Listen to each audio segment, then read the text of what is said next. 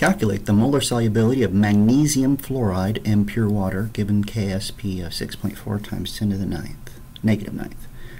All right. KSP of magnesium fluoride.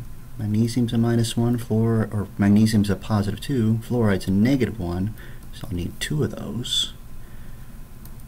In terms of our molar solubility, for every magnesium fluoride, there would be one magnesium and two fluorines. And we'll bring that 2 down.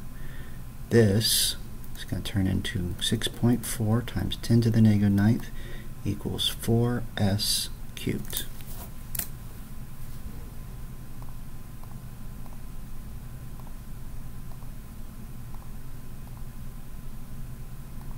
So I by 4, and then the cube root of that. I get molar solubility of 0.0012